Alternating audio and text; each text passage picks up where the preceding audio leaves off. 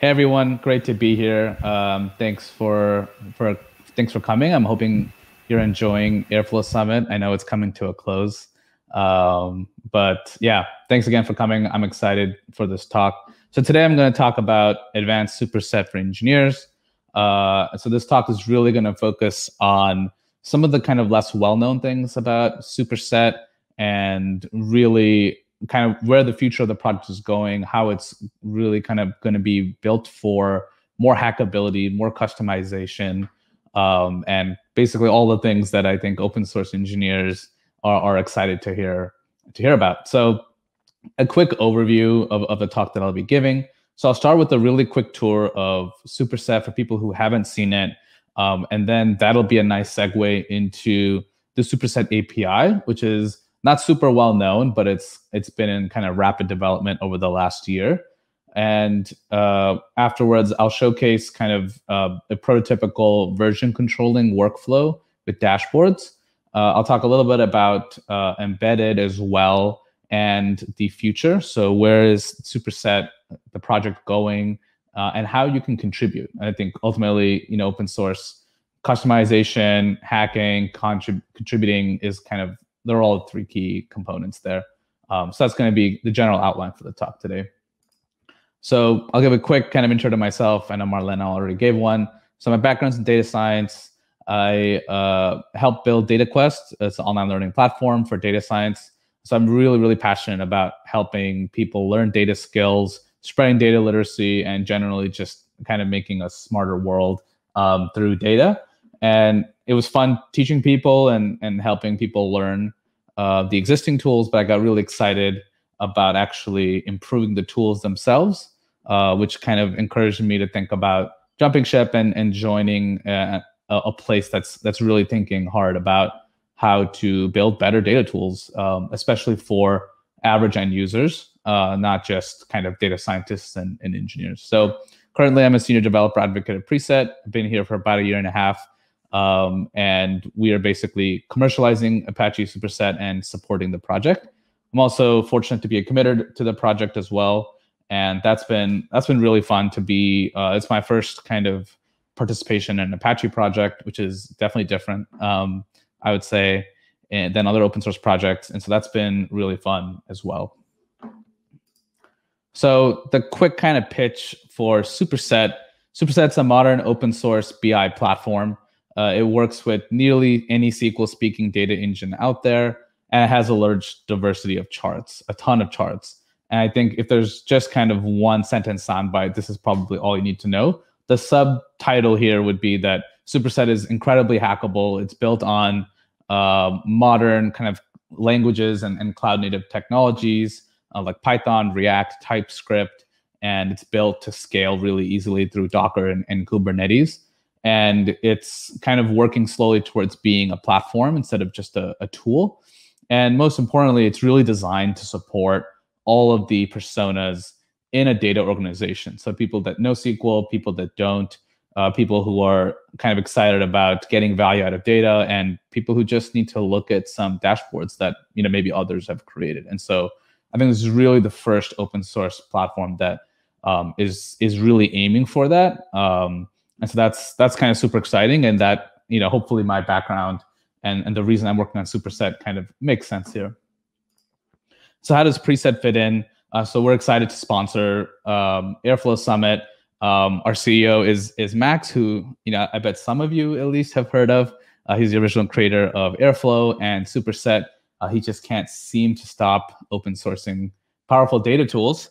And so Preset essentially takes Superset and adds a multi workspace and cloud hosted option on top. And it comes with all the batteries, bells, whistles included. So it just works with the databases that are supported. Um, all of the feature flags that we're comfortable testing and QA are enabled, and it's um, it's really battle tested um, with many organizations. So it's really kind of built for scale. Uh, and we also layer on things that a lot of enterprises care about. So SOC 2 compliance. Uh, we maintain end user documentation at, at docs.preset.io. So this is for the um, thousands of people in an organization that are creating charts and dashboards, uh, setting up alerts, and, and so on um, while our open source documentation by the community is more focused on engineers and and DevOps people. And then we also add role-based access control and, and single sign-on. So every workspace here is a superset workspace. Once you're in it, it's the same superset um, that, you know, th for those who've used it, um, it's going to be familiar. Um, so I'll, I'll start with kind of a very quick tour of, of the tool itself. So uh, this is kind of a list of, this is a dashboard list. And this is kind of the, the prototypical dashboard that I always show off. Uh, it's one of my favorite ones. I made it about eight months ago, and it actually ships by default with Superset. So it has data from our Slack community. It's snapshotted in time. Uh, and there's two common workflows that will cover, I would say, what 90% of people do in Superset. So the first workflow is uh, being able to add a chart without writing any code. So uh, a common workflow is to start with an existing chart. Here I have a big number chart that has weekly threads. We can also start with weekly messages. Um, let's actually do that one instead. So here, uh, without writing any code, we can actually switch um, the chart type. And um, always fun. Um, okay, well, I'll skip that for now. Um, live demos, right? And uh, so that's kind of like you can switch without having to actually write any code. Uh, and there's also SQL Lab, which I'll showcase real quick. And so if your data is not in the right format, um, what you can do is actually, in this case, I'm joining a bunch of tables and um, generating a result set. So this is going to, I can say this actually as a virtual table. Um, so this is going to be uh, users and channels. So I can save it as a virtual table and then use that to power a chart.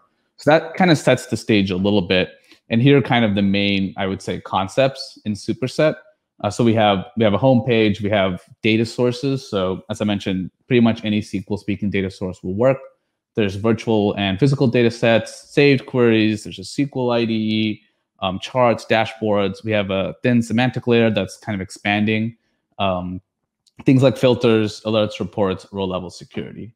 And so currently, uh, most of these can be accessed from the API, uh, which is super exciting. And so I'll kind of give a quick demo of the API in, in use. Uh, so here I'm just using, you know, I'm, I'm, as I mentioned, I'm a data scientist, so I love my notebooks, and it's a great way to show um, kind of changing state of data uh, with code. So here I basically have superset running at localhost 9000, and that's what's going to enable us to access the API. So we have slash API slash v1. Over time, we'll add v2 and, and so on. Um, so first I get a token, uh, which you can see right here. Um, and you know, usually shouldn't show tokens to the public, but this is just running on my local computer. Um, I add this authorization bearer, and then from here, I can actually get, so we're pinging the API slash v1 chart endpoint. Um, so this is getting, uh, this is a get request. So this is gonna get all of the charts uh, and with some pagination um, that's that's currently running. So if we head over to to here, it's gonna it's gonna return. It's the API is basically giving me the same data that's shown here. And the reason that that's that's really kind of trivial in many ways, or kind of I think built into the nature of Superset, is that ultimately all, everything the Superset stores and knows about lives in a database. So when you're running it locally, um, just natively in development mode, you know, it lives in SQLite. So we call that the metadata database. And so it's kind of not a big leap to assume that, okay, well, if that data is powering Superset, then um, it's accessible via API. So we're basically able to access the state um, that Superset is aware of um, and is using to power the tool. And so here we have kind of a list of charts. This is kind of, you know, a classic RESTful interface that you're used to. Um, and then in the results key is actually where you see the information. Uh, so this contains um, a bunch of information on a specific, this is actually all the charts. So we can look at just one.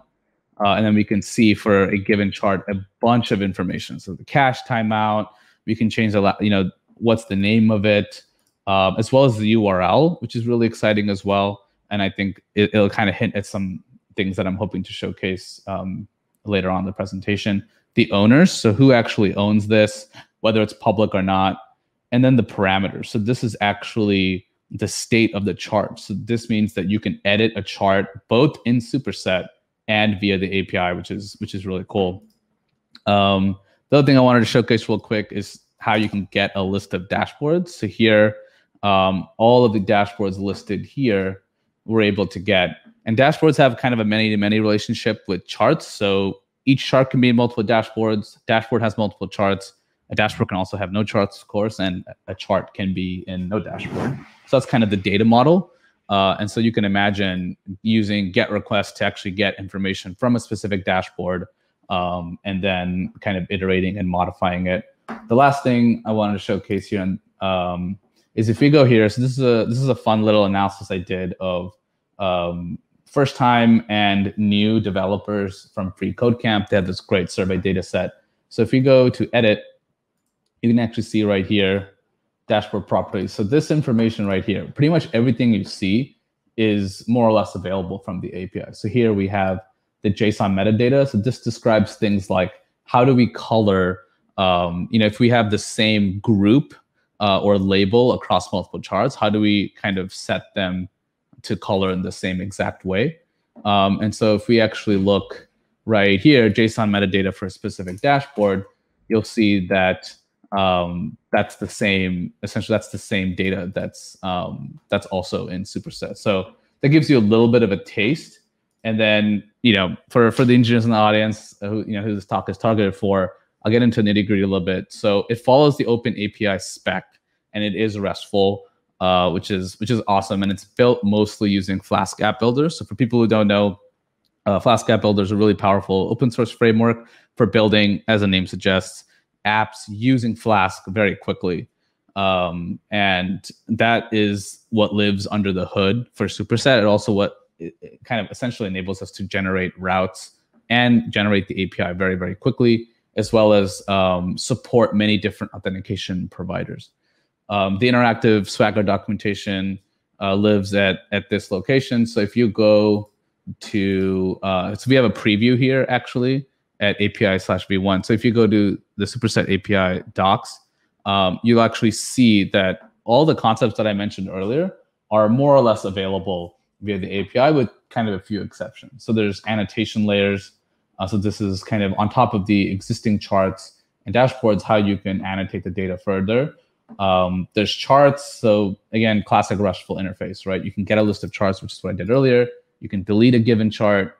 Um, and Swagger makes it really fun to actually see sample data. CSS templates, uh, dashboards. Again, as I mentioned, right, like the, the whole goal, um, the design goal for the API is anything that's doable by an end user should be also doable from the API. We're not completely there yet as a community, but that's kind of where we're marching towards. And if you're interested in learning more, we do have this this blog post as well. Um, so so what? We have an API. Why is that actually interesting?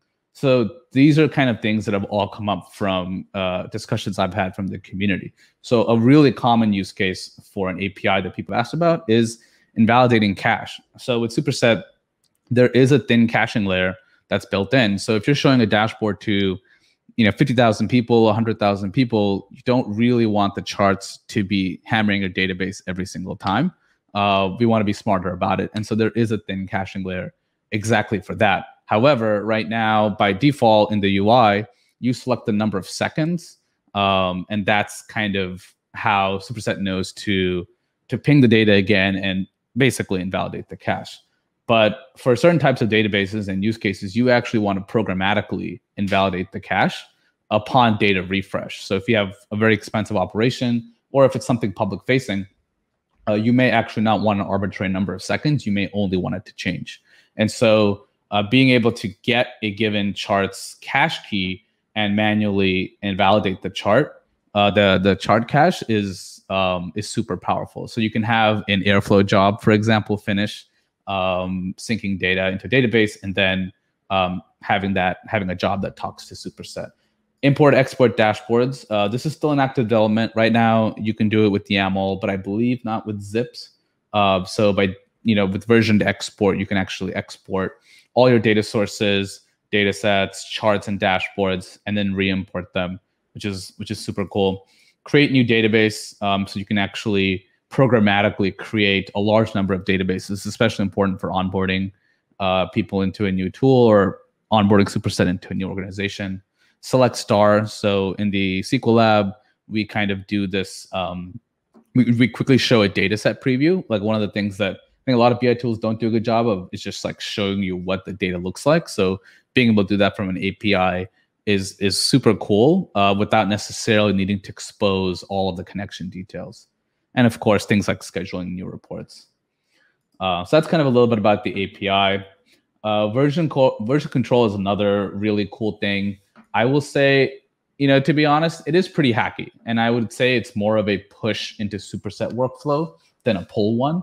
Uh, so what I mean by that is uh, the workflow is generally that you're exporting the dashboard from the UI, um, and you know eventually it would be great text for the dashboard as a zip from uh, from the API itself. But you know, as I mentioned, I think that's still an active development, and then you can import it using the using the shell. So um, the way this would actually work is you could use Superset to iterate on a dashboard. Let's say it's a super super duper important dashboard for an organization or something you're sharing publicly, and you need to iterate on the dashboard in the tool itself, which is still, you know, using the UI is still the best way to actually build a dashboard.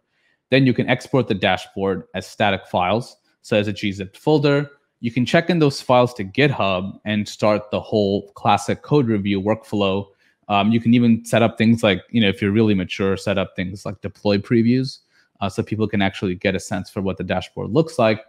Um, and then you can set up a CI workflow to actually deploy those changes into your superset instance. So I'll, kind of give a quick tour of how this works practically. So here uh, we have a list of dashboards here. I made this little test dashboard that's it's really simple uh, just to kind of showcase uh, you know the power of this feature. Uh, we can uh, export this um, and so you'll see here it's saved as a, as a gzip archive and then what we can do is go here. Um, let's see, saved it yet.